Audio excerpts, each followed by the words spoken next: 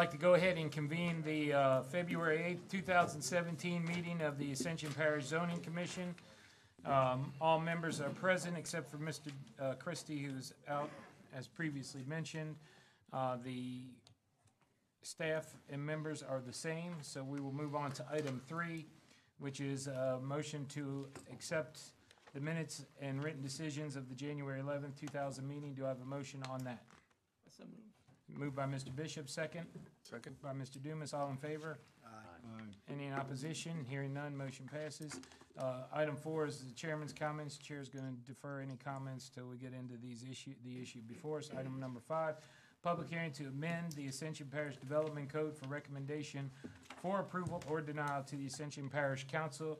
Zoning Review ID PZ eleven forty-two point one six, Tract A, Charles L. Tyler property, and Tract B, Estelle B. Guidry tract for Lake at Ascension LLC. This is located on the east side of Eads Road, approximately twelve hundred feet south of Louisiana Highway six twenty-one, to amend the Ascension Parish zoning map from medium-intensity residential to mixed-use corridor. Mr. Bill Wood Smith and company. Um, Good evening, Commissioners. My name is Ralph Hood. I'm an attorney with the firm of Kaiser Hood and Morgan in Baton Rouge, and we represent Lakes of Ascension. Um, What Bill Wood asked me to at least address initially, he was surprised when he saw the agenda come out and with the staff memorandum that showed a recommendation for denial. I I told him the way I read it was that there was a recommendation for denial as submitted. Now, the way it was submitted was before there was the first meeting in December, then Bill Wood's meeting with the staff that was recommended by the commission, and then the last meeting in December, um, in January, excuse me.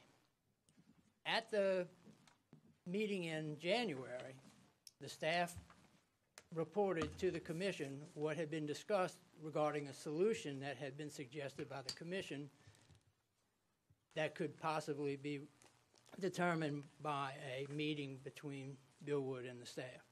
The staff reported that they had reached a solution, which was the establishment of a 20-foot buffer along the south boundary line of the Lakes of Ascension property. Now, establishment of appropriate buffers is something that is de- uh, mentioned in the development code with respect to MU uses. And so we believe that what the commission, what the staff was doing was recommending something that the development code provides for. The development code also provides that RM zoning is intended to be adjacent to MU zoning.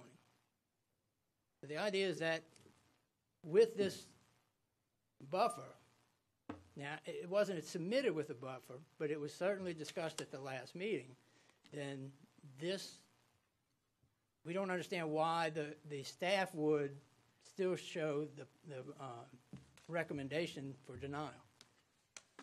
And so we want to just make sure that what we're really dealing with is that Lakes of Ascension has agreed to the buffer that was worked out as a solution with the staff.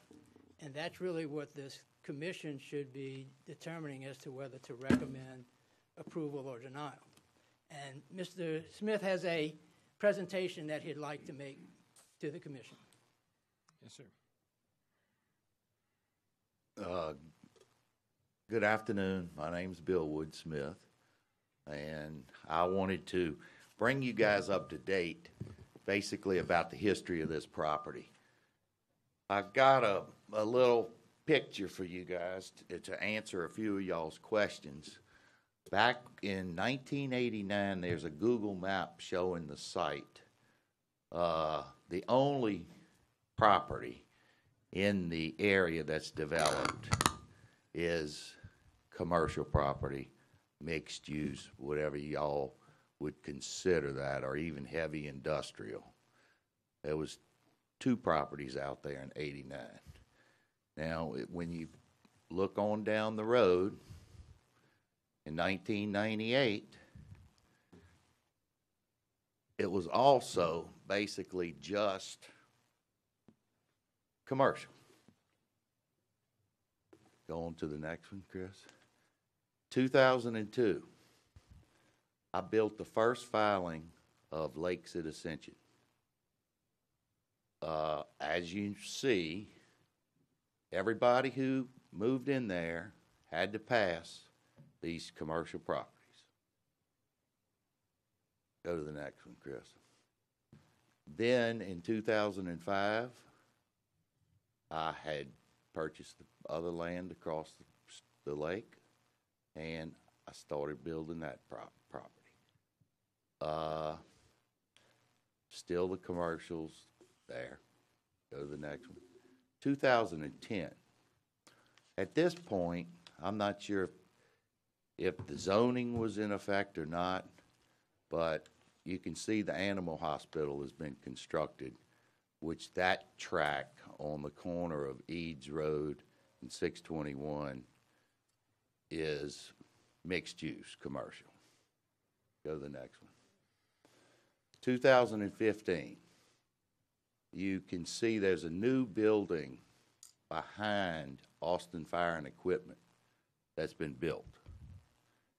I talked to Mr. Russell Ritchie today, who owns that, and I'll show you when we get to the next slides, uh, about his property and the zoning of his property. And he said, oh, my property's zoned commercial. He said, just a couple years ago, I went and got a building permit, built another building, no one said anything about anything. Which I was kind of surprised since it's zoned residential. Uh, by the way, he also said that he would, would agree to zoning it mixed use, like staff and I, and we all talked about at the last meeting. Go to the next one, Chris. This out- outlined in yellow is the property that I'm proposing to rezone.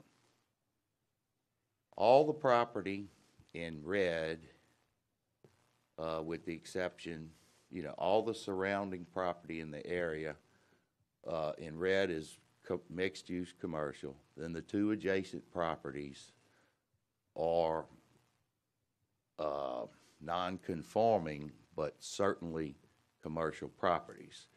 If you see the two lots, uh, at the end of the little yellow strip to the north, and I can't read the lot numbers from here, uh, those are Mr. Russell Ritchie's or Austin Fire and Equipment's, as well as, I think it's B, the track A is the next door neighbor, uh,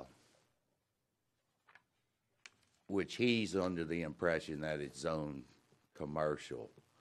And he's not a real estate person, so he's not familiar with all the particular types of zonings. Go to the next picture. What I'm proposing, as uh, we discussed with staff at Mr. Dumas's request, is, and this is what I want to make sure that everybody understands, this is why I got Mr. Hood involved. Mr. Hood's very familiar with all this property, he's handled all the restrictions on this prod, all these projects for years. Uh, I'm proposing to get the property outlined in yellow, uh, zone mixed use in order to be consistent with the two pro- adjoining property owners. The only property that would be affected would be Miss Lisa Bourgeois' property, which abuts up next to the end of my property, uh, right there, but there's a buffer already of a sewer treatment plant or a lift station, uh, right there, and that's not going anywhere. I've already dedicated servitude and everything to wastewater treatment. Okay, is the next one to take. Here, uh, I think last time I was up here, it was misunderstood because Mr. Pryor said on a number of occasions, well, y'all talking about rezoning the entire Eads Road, which is not the case. To the north of these lots would be the twenty-foot buffer that I'm showing here, and there's six hundred and eighty-one feet of road frontage before you enter the Lakes of Ascension subdivision. So I just wanted to clarify, not only is the buffer, but then there's these lots that are at mixed use, I mean, RM. I've got a few pictures just to show y'all this, and I, I've, I've tweaked this tape a little bit to address some of y'all's questions from last meeting. Go to the next one, Chris. This is just showing the entrance coming in. There's a picture of the animal hospital. This is Eads Road, which is a heavy-duty industrial type road. Austin Fire or Byron Valve and Fitting has been there prior to me. This is the office building right next door to my property. This is a shot from the air of this massive commercial area. This is another shot. And I'm going to show you how we have all the adequate roads and how nice the subdivision is, all of them are that I've done in that area. But this is also a frontage road. Right now, we're getting to the subject property. Right there's the beginning of it that I'm wanting to rezone. And then when you get to this next building, about right there is the end of it, or the twenty-foot buffer. Now, you still have all of this here prior to the entrance of the subdivision. That is a number of vacant lots that I have. This is a wonderful project, and I don't want to do anything except do something that would be an asset to the community, just like the rest of this, that would be compatible with it. Now, I'm flying over here to show you the sewer treatment plant and Ms. Bourgeois' property, which I don't affect very much of hers. And we're gonna make a swing around it because last time y'all were concerned about the mixed use being next to the residential. And you fly down this property line and those home sites are right there up on it. They back up to the veterinarian hospital. They back up to this massive, there's the new building.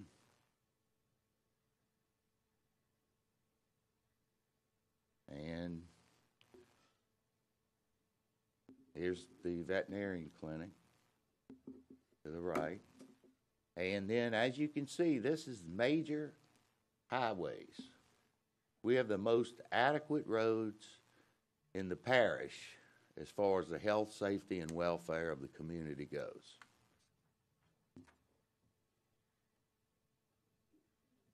And now we're coming back to the subject property.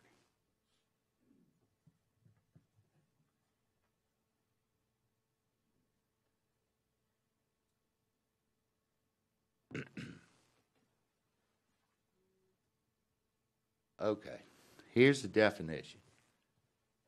These districts are, are located where the roads are adequate to support growth. And they need to be, uh, commercial should be clustered or concentrated centers next to other commercial. The RM district, which Mr. Hood pointed out to me, this district is designed to be adjacent to the mixed-use corridors. Section seventeen dash two oh one five, page fifteen of the Development Code. I was not aware of that, or I would have been letting you guys know that. So, go to the next one.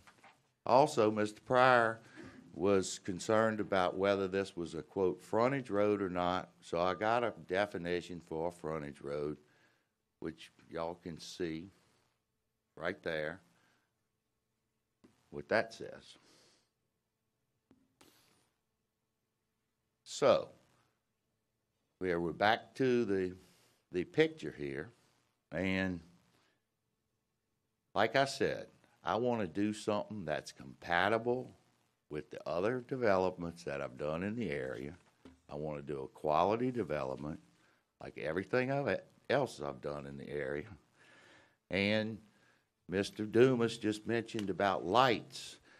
On another matter, well, in the last year, I've been fortunate enough, which I don't think is very good for residential, the interstate, they've come and put some lights that are a couple hundred feet tall, and they light up my entire site. So I don't even need security lights at night because it's lit up from the interstate. Uh, and I guess I'm just happy to take any questions. I think y'all are all very familiar with this. We've talked about it a number of times.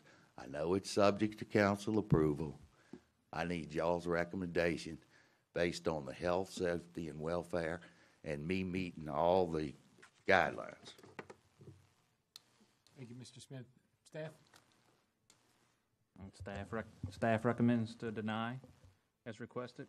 Uh, Existing commercial uses surround the property are considered non-conforming, and uh, the areas, uh, proposed area that allows uses that, like I said, are not compatible with the area.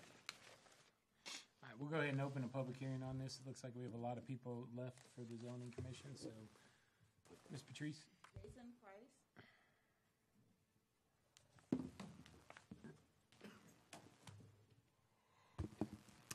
Uh, Jason Price, 37209 Lakeshore Avenue. I am the president of the Lakes at Ascension Homeowners Association. I just wanted to give everyone a little bit of color of where we're at working with Mr. Bill Wood um, year to date.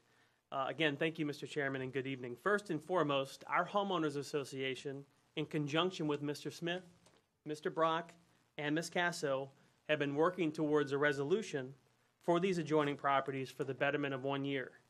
Our HOA board has been pragmatic in finding an agreeable development that will benefit both the majority of our homeowners and Mr. Smith. It is not our position to oppose Mr. Smith in developing his property, but rather to work with him on a consensus that can be tightly enforced by the zoning department and protected by the parish. This relates not only to the property in discussion tonight, but the adjacent Eads Road property, which was before the same commission just last year. Uncertainty is the biggest concern for our residents. Our reluctance to completely support mixed use concern, of the concern a few of those allowances which we feel are undesirable and could negatively impact our property values. Consenting future and unknown development onto the goodwill of any developer, in this case Mr. Smith, is unwelcome by our homeowners. I believe the majority of our homeowners would welcome single-family homes, townhomes, a storage center, and even a small office park. We do not want to grant license for adult businesses, for bars, nor multifamily dwellings, which include diminutive homes and cottages found within the scope of mixed-use zoning. In working towards a resolution, we found a common challenge is the lack of flexibility and the limited options of existing zoning code for these unique slices of property. These small parcels of land seem to be remnants that are left over from prior developments, de facto establishments, and predated code. So on one hand, these properties are too small in size and they fall below the two acre minimum required for a planned spud. But on the other hand, we find the confines of mixed use allowances far too broad. We have spent the last year broaching a handful of alternatives. This includes a private legal agreement between the HOA and Mr. Smith, uh, limiting the property to a very specific development. We also lobbied our parish council for enhancements of MU2 zoning that would allow mini warehouses or a storage center. Unfortunately, none of those proposed alternatives have yet to materialize. So, despite our best efforts in working together, we still find ourselves searching for a solution. That solution could be reducing the minimum acreage required for a spud, or it could be a more specific code, not as inclusive as mixed use. Again, my goal is to be pragmatic with our developer, find an agreement on a specific design and development, and resolve this property.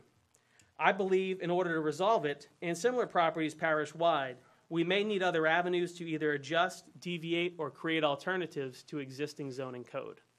Thank you. Thank you. Douglas. Good morning, gentlemen. Good evening, gentlemen, at this point. Not Uh, morning yet. It's, it's But kind of. getting close. It's getting close. Uh, It's kind of unique that uh, February is Groundhog Day because this is kind of getting to be Groundhog Day. I see you about every two months on something for Bill Wood here. As pointed out, we've been trying to work with him on this quite a bit. Without question, Bill Wood has a right to develop the property. I'd call your attention to about two years ago, uh, Billwood actually had another development proposed that uh, was essentially uh, uh rezoning to generate what effectively ended up uh, being 20 five to 100, uh, 500 to 1,000 square foot cabins along the ski lake. Uniformly, our residents association brought forth uh, a petition to the council to totally oppose that because of the fact that it was trailers, small houses. That was not something we were really intent on doing. As you recall, about three months ago, we went through the same problem with what we call the pond, which is around the corner toward our entrance. As pointed out, the clear problem that we've got is there is no specific zoning because of the size of these lots that allows things to be done with it that are agreeable to everybody. So all of us are in a catch box. Billwood's in a catch box, and the residents association's in the catch box. We wish to work with him. Hopefully, the council can resolve something like that. At this point, since the issue seems to be accessibility on the roads, I challenge any of you to come down to Eads Road at any time after about seven thirty in the morning, actually seven o'clock in the morning. It's not accessible. You cannot turn left getting out onto seventy-three. It's horrid. The, the best use at this point is what it is already zoned for, which is residential. That would be ideal for it. Single-family residential is what's there, what should still be there until we can get some resolution to this. Based on that, our residents association, basically on the original proposal that we had two years ago, is in all likelihood still against this. For the record, my house is at 37336 Lakeshore Avenue, so I am actually a property owner down there, and I'm familiar with it. And I thank you for consideration. I ask that this be denied at this point. Thank you, sir.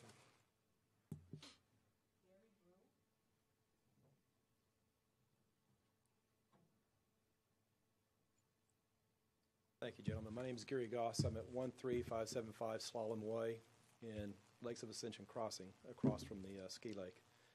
And when I first got this and looking at it, the, ma- you, you've heard all night long about the traffic on 73.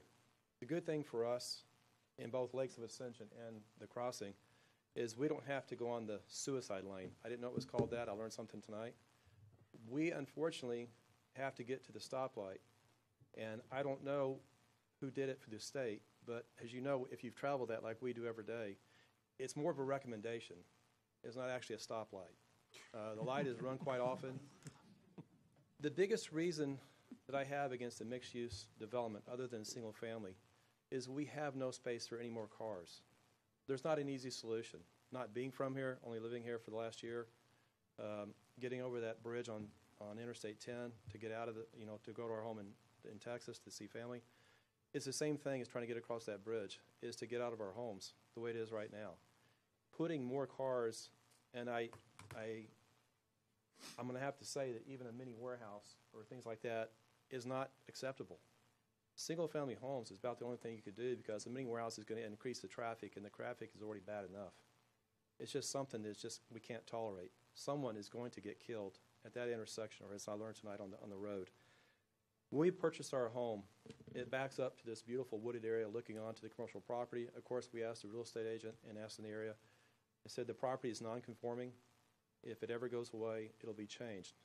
In difference to it's there now. I knew it was there. Uh, that big communication tower is gone. That's a blessing. That thing is gone. I don't know why it's gone, but it's gone, so it's made it even nicer back there. But the single-family homes with that traffic load that we have, and the other thing, I don't know what the problem is, is about the sewer system.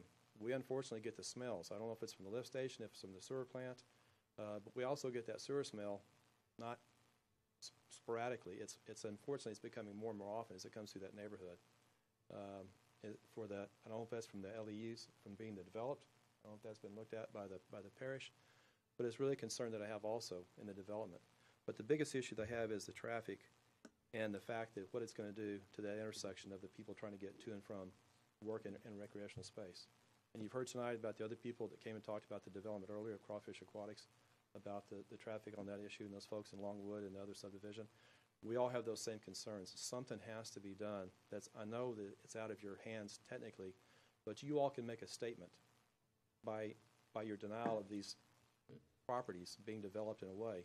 Yes, the council can override it, but you can make a statement for those of us that are residents of this community about your true feelings about, and looking at us as why we are having such a problem of getting in and out. It's, it's a lifestyle issue. Thank you all for your time tonight. I appreciate it very much.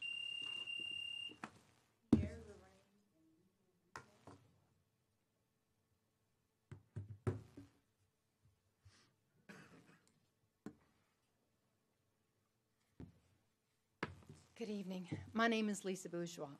I'm the one that has the property adjacent to Mr. Smith. And I have to agree with one thing. He has developed a wonderful residential subdivision. I ask that this council deny his request because this is a residential area. The one thing I can cover that nobody else has is the current residents, and I'm going to assume they're current residents, go under the black wrought iron gate from his property onto mine all the time. I can't say anything because he has 25 feet of the servitude or whatever. I have no idea what he's going to put here. So I have no idea of how many people are going to come underneath that gate like they do now and come into my property. I know it sounds like a silly request, but I'm in agreement with everybody else. Keep it residential. Thank you. I'm Lisa's husband, Pierre's Ray. Like last month when we came here, that wasn't the only piece of property talking about change.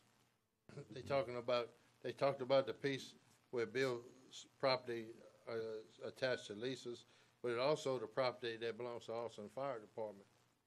They talked about changing that too, also last month. Now he's only talking about his tonight. So, and both pieces is adjacent to our property. And I would also ask to be denied because it's too, just too much traffic.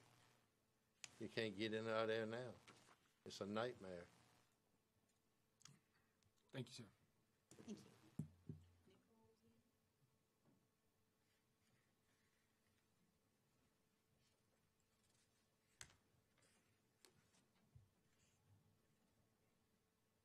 Hi, thank you for allowing me to speak tonight. My name is Nicole Keith, and I am at 13589 Slalom Way Drive. And I would ask that you please support the decision to deny. Um, The property that they're speaking of is behind my house, and just not knowing what would be developed there, myself and several other neighbors who were unable to attend, uh, we didn't find out about this meeting or any of the plans that this was even regarding until uh, this previous, this past weekend that it came up. So a lot of us were not able to make arrangements to be here, and we weren't aware of what was even being requested, because we don't drive down Eads. We're in Lakes Ascension Crossing on the side of the lake where the development would be. And hearing what the gentleman just now said about the other property they want to change on the fire department, that does back up directly behind my home. And I have three children that play outside all the time, that, you know, that area is there that they kind of go out to. I'm just not comfortable with, you know, a business being right back there when we've, you know, paid so much to be in this area in, in a residential area. So I would just ask that you support the denial of that, just since it's mixed use, there's no idea of what would be there or how it would impact our area and our homes right there. So thank you very much. Thank you, ma'am.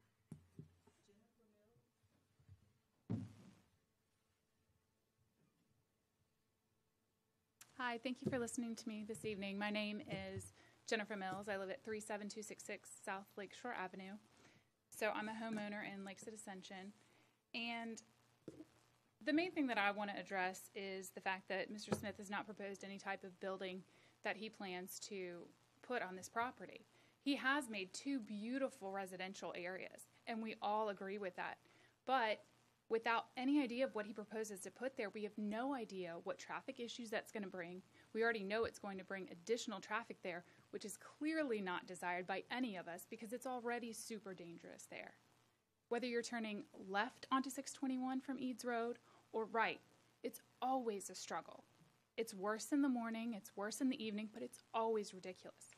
Turning left onto 621, you have to take into consideration the fact that 621 at Eads Road is downhill from 73.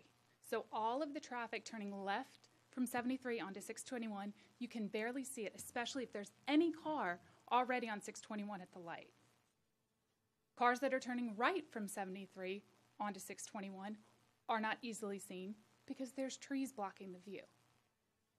None of this has been addressed by Mr. Smith in any way. So I don't know how any of us can be on board with what he's proposing when we don't have any idea how much more traffic we stand to see. Not to mention, any construction is going to make that traffic exponentially worse until the construction is complete. I don't think any of us can question that. So in conclusion, I ask that no one recommend the change to mixed use at this time until we have any more information from Mr. Smith about what he plans to do on that property. Thank you. Thank you. That's it? Okay, we'll go ahead and close the public hearing on that. Um, Mr. Smith? Okay, well, I, I think we've discussed some of these items before. I've done layouts on this property since nineteen ninety-nine. It just doesn't work for single-family homes.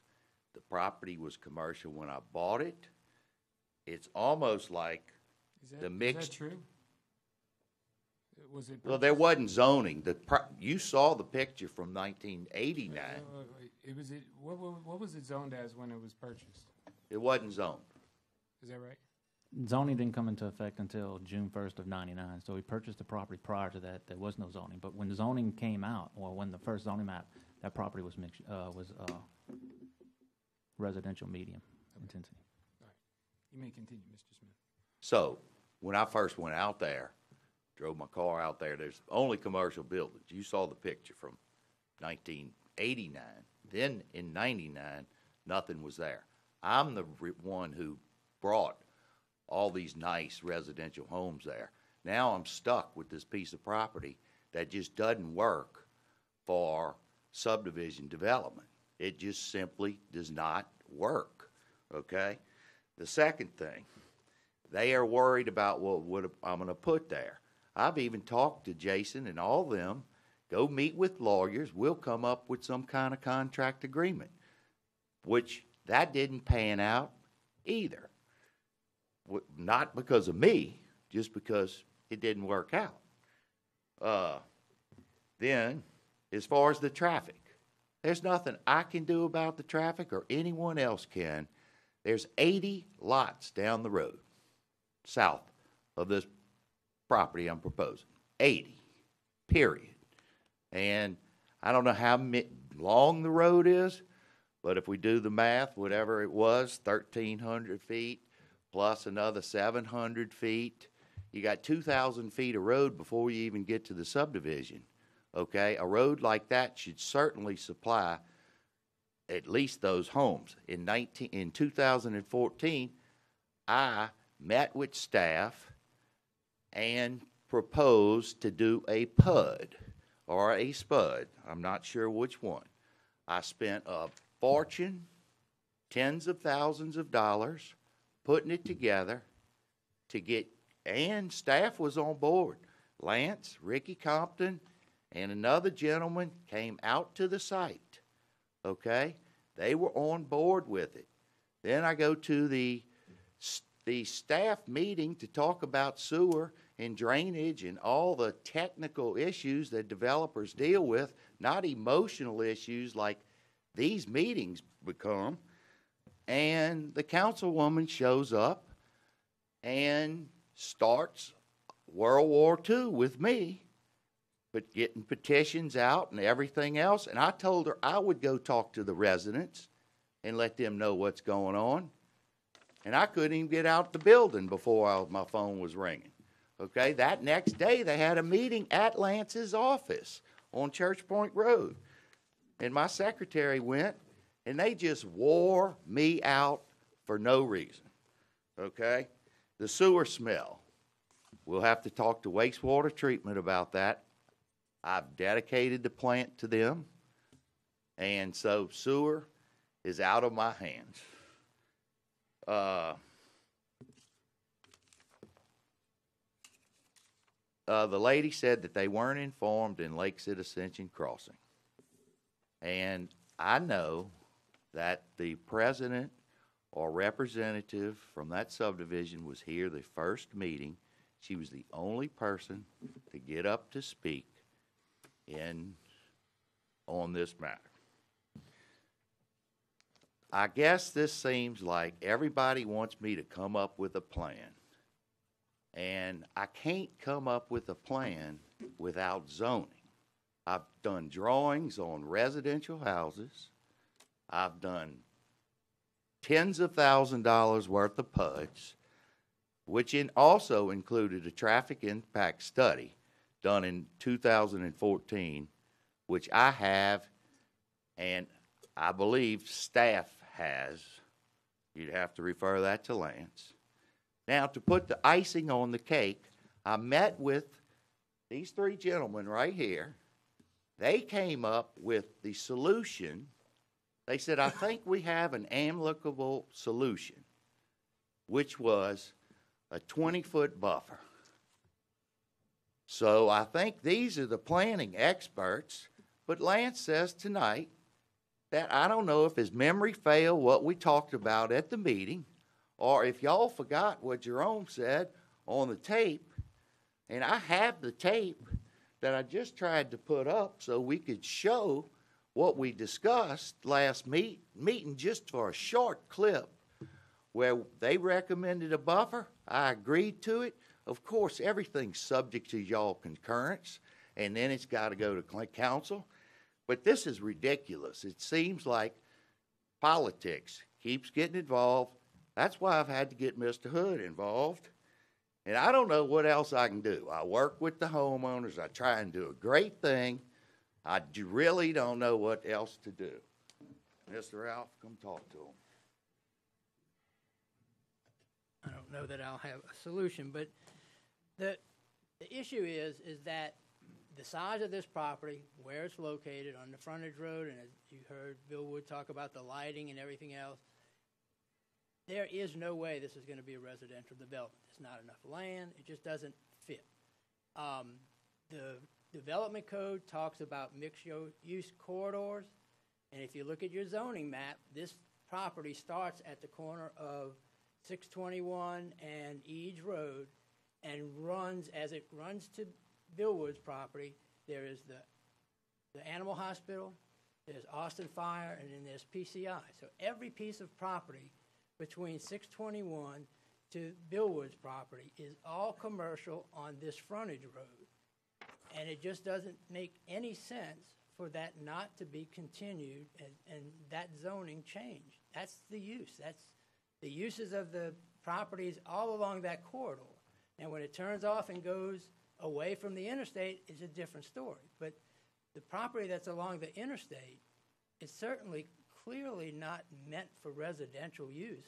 I just can't imagine anybody doing that. And there's just nothing else, he, he needs to be able to do something with his property.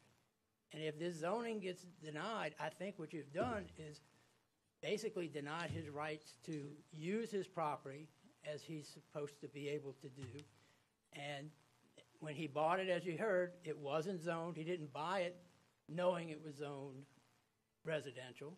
He bought it and it was commercial all around him. And so there's a reasonable expectation that he has that he could use it in that same capacity. Um, just to just simply deny him and keep him as a residential property denies any use of it, and I believe the denial, if it comes from the council, I know, understand you don't make that, would be an arbitrary and capricious act that would deny Lakes of Ascension of its constitutional right to use its property. That's all I have. I'm going to take the floor first on this, um, because I've thought about this issue a lot over the past several months. It's been up, these, this property and its neighboring has been up before us several times on zoning issues. Um, and I will say that I have never shied away from expressing my belief in the right to use your land as, you- as you see fit within the confines of the law. And obviously zoning issues are part of the police power of the parish to regulate zoning as they, as the parish determines. And I would say also, I've always, also have advocated a position that we don't have as much power as some people think we do in arbitrarily going against the will of the parish council, who is our elected officials. My, my issue on this is that if we recommend approval into mixed use, then Mr. Smith, you could do with it what you want. You could sell it, and it could be something that we never intended, that you never intended, never came up here with this, with what we talked about tonight, of any of the uses. Um, right now, there is a restricted use to residential medium. That's been in place, Lance, you said since nineteen ninety-nine, so for seventeen years, better part of eighteen years. Yes, sir. Um, whoever decided that did it under the will, it was passed by the will of the elected officials. I think it's their choice to whether they want to change this or not. I don't think, I, I don't see a reason, any compelling reason to move it outside of what's been set up there. Now, I will say this, I think that our zoning maps are outdated. I do think we need to look at our land use development plan in a broad perspective, and we need a comprehensive new land use plan. Um, and we need the experts to come in, and maybe the experts will come and say, yeah, you know, Eads Road is a frontage road. I don't think it's a frontage road, even reading that deposition, definition that was posted up. I still don't think this meets the requirement, just because it's along the interstate, uh, doesn't make that a frontage road. But maybe they say part of that needs to be mixed use, but certain parts of it need to be residential. And certainly the people of Lakeside, or Lakes at Ascension bought in here knowing that this is all residential, and it is all residential, even though there's some non-conforming uses. Um, the last spud that we had earlier tonight, I thought was a good idea. If I got the vote, and I didn't because there was a tiebreaker, I would have voted in favor of it because, for two reasons. One, it kept the same purposes that the land was, and it limited that use. Here, to open-end it, I don't think it's a good idea, and I would, my, my position is that we recommend denial on this. Mr. Smith, I know that puts you in a bind, but, um, that's the way the property was zoned twenty years ago, eighteen years ago, whatever it is. Um, and that's how it was developed up until, up until recently. So that's the, uh, that's the position that I would take if I get the vote, which I won't because we don't have enough here to make a tie. So, Hey, uh, that being said, can we look at my tape, which shows what staff recommended? well, staff can recommend, but we're ultimately. I and know, but why even- does, how Well, do no, they but- go from, we recommend it between the last meeting to changing it to what Lance writes every what the- time? what the Oh, it's staff- not conducive to the Staff- area. What the staff gives us and ultimately what we give to the council is our recommendation, one way or the other, what, what So they it doesn't matter what they think. It's, it's something we can consider, but we're not bound by it. Just as the council, if they see fit to rezone this, they're not bound if we deny it, even if we, uh, recommend to approve it. They're not, they're not bound by that at all. Um, that's the way it works. We're, we're the people appointed to do that one way or the other. Okay, so That's ba- my position, but I don't get the vote. basically Mr. what the, I, I, I think that, um, I think we need to recognize some things, and I said, you're fortunate, you have homeowners association that's willing to work with you. I've you tried have to some work with everybody for years. If I may finish, please. I'm sorry. You're, you're very fortunate that you have homeowner associations willing to work with you. I, I think that, uh, if you can work it out with them, and, and you can come up with, um, a, a spot that's, that's essentially created by private deed restriction rather than by, by zoning, since we don't, we can't do it with this, uh, with this code, as the president of the homeowner association suggested. I, I think that you, you may, may be able to get a better traction on that. But I gotta be honest with you, when, I asked staff to look at this property, you know, it's, I wanted to get a better understanding of how did these commercial properties get there? And they've been there long before zoning existed, and the expansions that have happened have been under the fifty percent rule that, that are permissible for non-conforming uses. I think the residents bought on these subdivisions knowing that those commercial uses are non-conforming. They're limited to the extent that they can expand, and they, they're hopeful that one day they'll go away. And I think that they, they, that's a reasonable expectation on their part. Um, you bought this land, you bought it before zoning existed, zoning came in, and I think you, you've had that zoning from the get-go. When you designed this subdivision, you could have designed it in a slightly different format and included this land. You self-created this problem. Um, and, and with, and, and clearly that road pursuant to code is not adequate to support any more commercial than what is there. Frankly, I think that commercial, if it were gone, the road still wouldn't be adequate. Um, So with that, um, I'm going to make a motion that this zoning is, is totally incompatible with the adjacent property. Uh, It is uh, not, you have no reasonable expectation to get that rezoning. Uh, The residents, on the other hand, bought with a reasonable expectation that those non-conforming uses would one day not be able to expand and go away. And um, that's it, that's my motion. All right, we have a motion on the floor to recommend denial to the council. We have a second? Second. Second by, motion by Mr. Foster, second by Mr. Dumas. All in favor of denial? It's the other way around. Motion by. Mr. Dumas, Second by Mr. Foster. Excuse me. Motion by Mr. Dumas, second by Mr. Foster. All in favor of denial? Aye. Any in opposition? Hearing none, the recommendation is to deny, deny the rezoning to the parish council. All right, item number six is the staff report. No report. Motion to adjourn? Motion. We are adjourned. Thank you.